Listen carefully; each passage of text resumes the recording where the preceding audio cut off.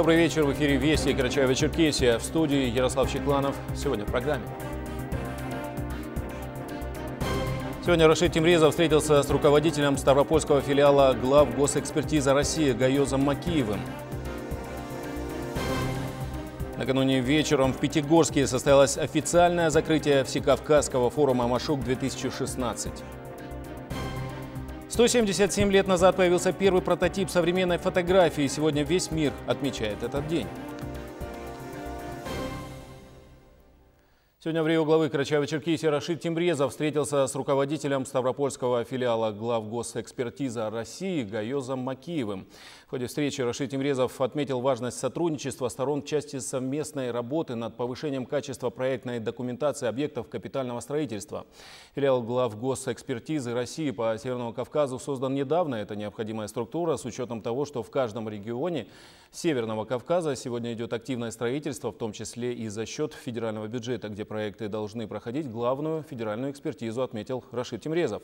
Раньше этот процесс занимал много времени и приходилось ездить в Ростов или Москву. После создания филиала все станет намного оперативнее. Карачаево-Черкесия – одна из тех республик, которая сегодня достаточно активно работает в плане строительства инженерной инфраструктуры, социальных объектов. И поэтому оперативные заключения госэкспертизы по тем или иным объектам очень важны. Далее Рашид Тимрезов провел рабочее совещание с, участием, с участием э, Гайоза Макиева и членов правительства Карачаево-Черкесии, в ходе которой было рассказано о новых правилах подачи заявки на госэкспертизу и о требованиях, предъявляемых к работе проектных организаций.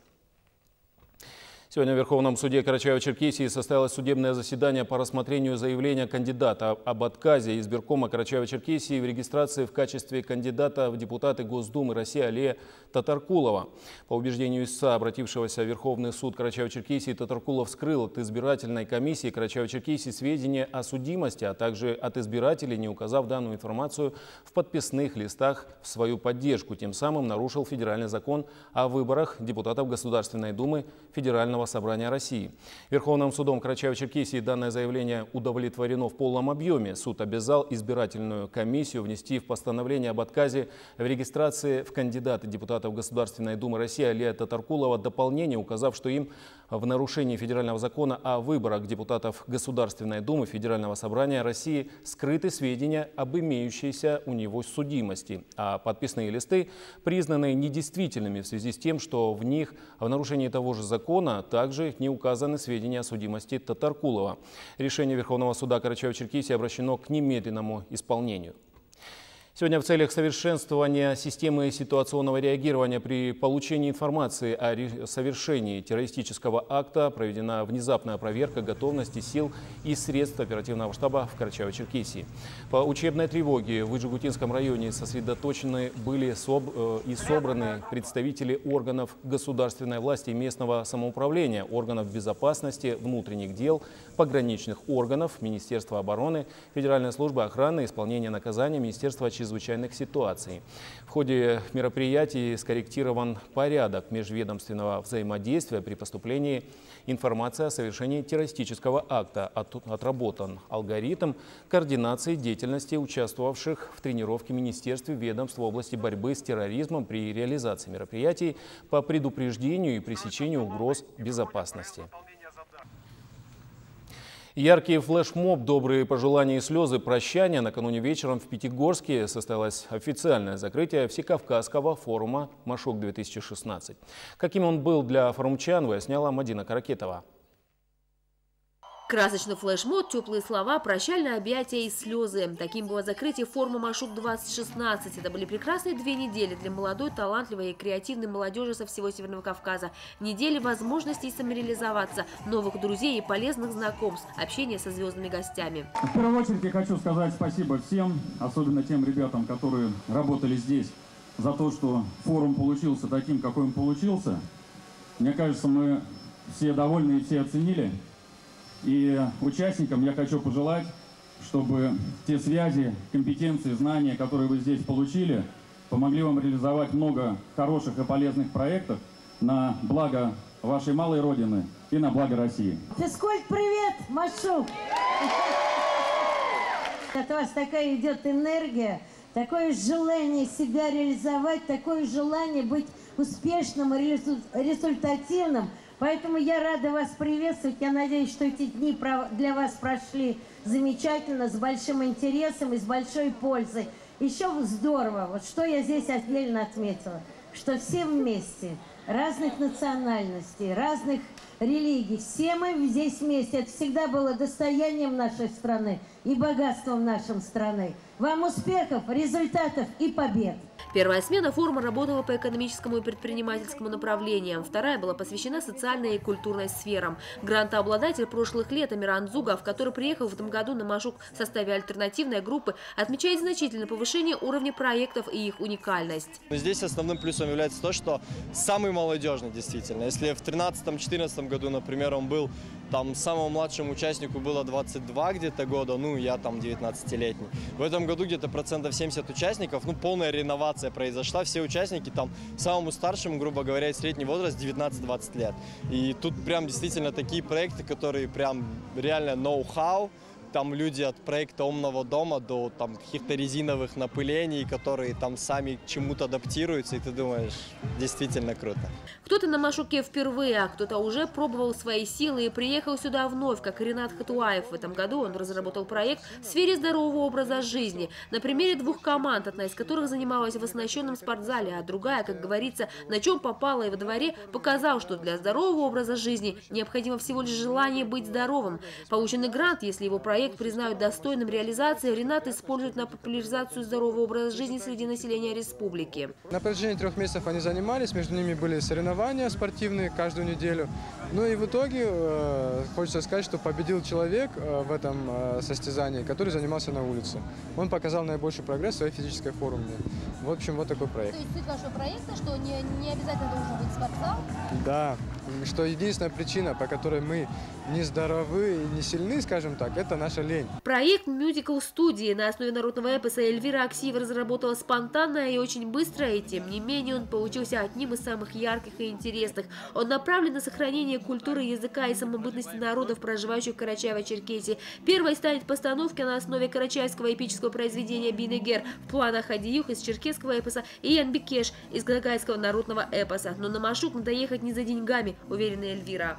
Для меня форум – это время, это возможности, новые знакомства, полезные знакомства. Я бы хотела пожелать всем ребятам, вернее даже призвать всех ребят приезжать на этот форум. Не за деньгами, а ради э, того, чтобы в дальнейшем, получив базу здесь, мы смогли вложить это в нашу республику. Лучшие проекты смогут заработать от 300 тысяч до 2,5 миллионов рублей. Кто окажется среди счастливчиков, экспертная комиссия объявит позже. А последний день на Машуке организаторы постарались сделать незабываемым. Активное участие в закрытии форума приняли спонсоры. Ребята-победители всевозможных интеллектуальных, культурных и спортивных состязаний были награждены ценными подарками от гаджетов до авиабилетов в Сочи с проживанием в самом дорогом отеле города. И вот торжественно спускают флаги. Это значит, значит, что форумчане прощаются с Машуком ровно на год. Кто-то приедет сюда снова, а кто-то, благодаря своему проекту, твердо встанет на ноги и будет работать во благо своей республики. Руководство Ставропольского края по традиции в вечер закрытия форума также сделало свой подарок всем гостям – концерт знаменитой рок-группы Би-2. Мадина Каракетова, Али Бастанов, Вести Карачаева-Черкесия, Пятигорск. А сейчас мы прервемся на короткую рекламу и вернемся через несколько минут.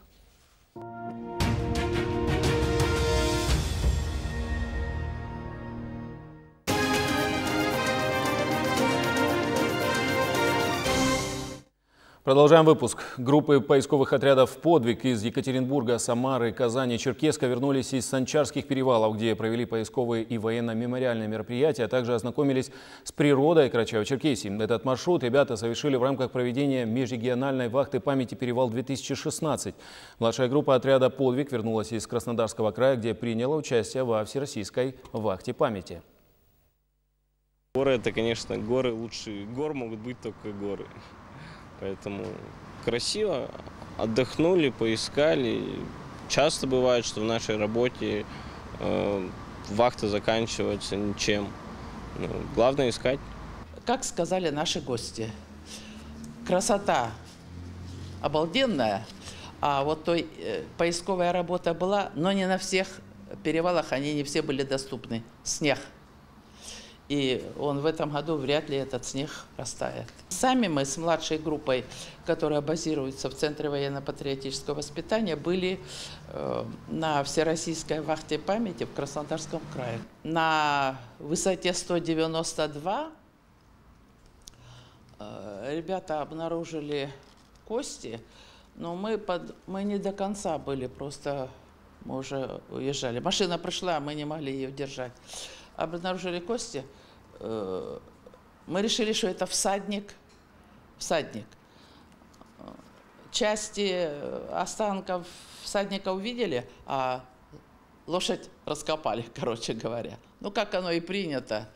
Кости все собрали, в отдельную ямку выкопали туда. А вот дальше, видимо, краснодарские поисковики будут вести еще работу.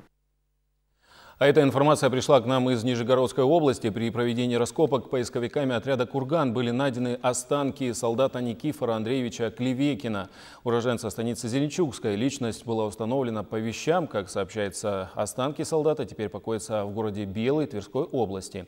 Родственники Никифора Андреевича Клевекина могут обратиться по всем интересующим вопросам по номеру телефона, который вы видите на своих экранах. При нем была ложка с надписью ложка и еще кое-какие вещи, все они находятся у руководителя этого поискового отряда. Он говорит, если бы мне сказали чуть раньше, как мы захоронили, я бы его привез к вам. Но, увы, о том, что ложка и все такое прочее, он узнал ну, минут через 10-20 после того, как прошло захоронение. Раскапывать же не будешь. Но в любом случае он может указать, где захоронение, передать ложку. Если найдутся родственники, Пусть позвонят к нам в поисковый отряд город Черкесск. Сегодня весь мир отмечает День фотографии. 177 лет назад появился первый прототип современной фотографии «Дагеротип», который выглядел как фото на металлической пластине. Чтобы сделать такой снимок, нужно было потратить уйму времени и в буквальном смысле рисковать собственной жизнью. Приходилось работать с едкими щелочами и кислотами. Но это в прошлом. А чем приходится рисковать современному фотографу, Екатерина Семенова подробнее. А что мы обычно фотографируем? То, что красиво, необычно и не повторится, как подтверждение чего-то, что уже случилось. А всегда ли это нужно? А когда будешь щелкать?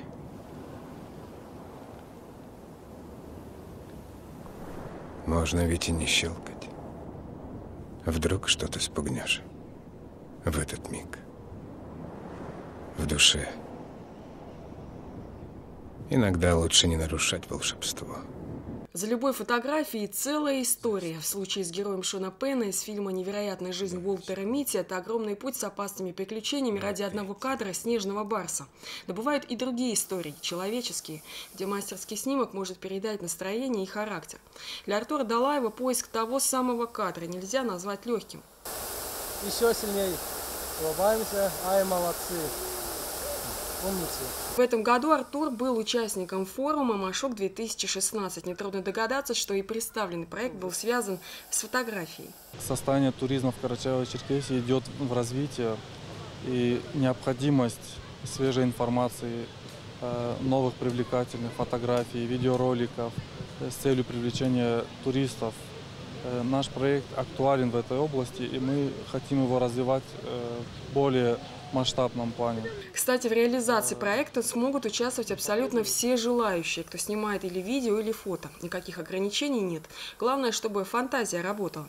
Выложить свои работы можно в соцсетях в группе «Дамбай Тур». Задача конкурсантов максимально красиво показать э, определенный маршрут, чтобы, увидев, люди могли увидеть эту красоту э, фотографии и им захотелось приехать, увидеть это своими глазами в реальности. Сейчас любой, у кого есть фотоаппарат или камера в телефоне, может стать фотографом. А почему бы и нет? Кто знает, во что может перерасти простое хобби. Фу, до чего же дичь пошла бестолковая? Я полдня за ней бегал, чтобы сфотографировать. Это еще мало. Теперь ты еще за ним полдня бегать будешь. Это почему же? А чтоб фотографию отдать. Екатерина Семенова, Рашид Токов, Вести, Карачаево, Черкесия. Симфонию песни и танца в честь своего 25-летия подарил зрителям Карачаево-Черкесии государственный ансамбль песни и танца Республики Адыгея «Исламей». С творчеством уникального музыкального коллектива познакомилась и Фатима Даурова.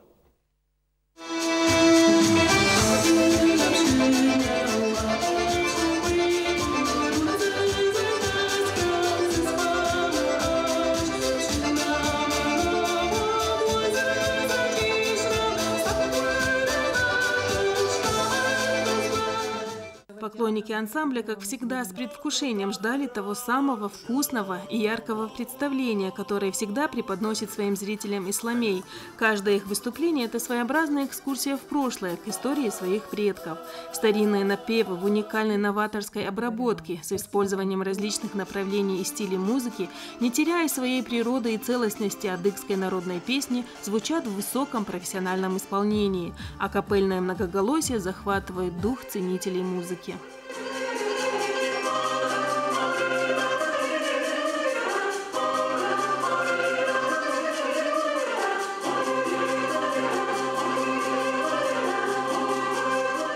Я считаю, что наш коллектив сегодня, конечно, для э, человеческой как бы, жизни э, дошел до такого момента, когда он только-только начинает расцветать. Я очень хотела бы, что эти 25 лет были не зря, и чтобы молодежь, которая сегодня у нас пришла и которая работает, очень талантливая, продолжила бы этот путь, и следующие 25 лет были бы еще лучше, чем эти. Чтобы культуру, красоту, обычаи, адат песни, музыку народную, наши танцы, которые достойны самых лучших мировых сцен, на самом деле знали бы во всем мире. Старинные черкесские песни преподносились зрителям через видение исполнителей Исламея. В этот вечер они стали тем связующим звеном между прошлым и настоящим. Танцы и песни, исполнявшиеся адыгами сотни лет назад, нашли свое новое звучание. Сейчас много э, в культуре влияние современных каких-то тенденций. Поэтому призыв к своим корням – это очень важно. Как-то, чтобы молодежь тянулась к, как сказать, к тому, как жили отцы, что ли, к тому, о чем они думали, что они в жизни несли, э, к этикету нашему адыгскому – Настоящую радугу чувств испытал каждый из зрителей, слушая исламей. Своими впечатлениями они поделились и с нами. Этот ансамбль вообще не нуждается ни в каких э, комментариях, потому что это уже сложившийся, налаженный, очень э, вокально грамотный ансамбль.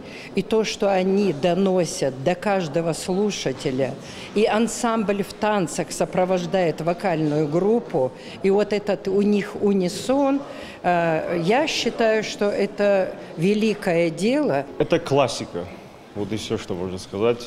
Это классика адыгской эстрады, можно сказать так. Вот. Мы в восхищении. Впечатления огромные, потому что такой ансамбль, посмотреть такие песни, такие танцы, а какие актеры, здорово просто.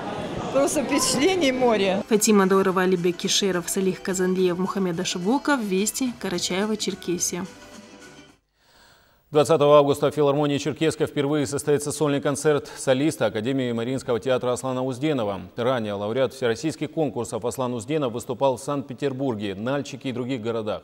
Впервые он выступит сольным концертом в родной республике. На сцене прозвучат классические зарубежные произведения, также из советских э, композиторов, арии из опер, романсы, национальные мелодии. Аслан Узденов к сольному концерту шел долгие годы. За его плечами богатейший музыкальный опыт. В настоящее время он активно репетирует над 20 музыкальными композициями в зале филармонии. Напомню, сольный концерт Аслана Узденова состоится завтра в филармонии, начало в 19 часов. Филармония – это колыбель искусства. Карачаево-Черкесская республика – это моя родная республика. Я здесь родился, жил. Начал учебу здесь, в музыкальном училище. Насчет э, концертной программы, я хочу сказать, что она будет э, насыщена и напичкана разными жанрами. То есть э, классика, советская эпоха, значит, музыкальная, вокальная – Далее будет из фольклора пару номеров, то есть А, И это все закончится, я полагаю, неаполитанскими песнями. Я считаю, что если концерт будет хорошим, насыщенным, то не только я получу удовольствие, но и те, кто будет слушать. Далее прогноз погоды. Я с вами прощаюсь. Удачи и до встречи.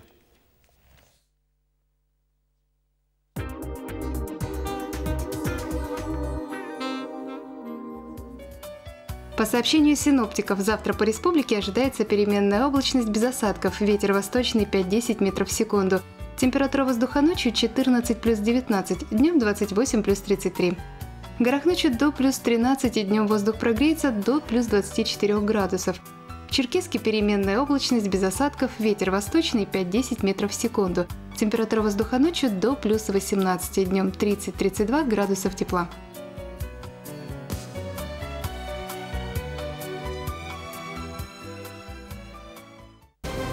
В 20.45 о самом главном, важном и интересном. В 20.45 мы ждем вас у экранов после федеральных вестей. В 20.45 теперь будет выходить в эфир вечерний выпуск программы «Вести» Карачаева-Черкесия. Ждите вестей.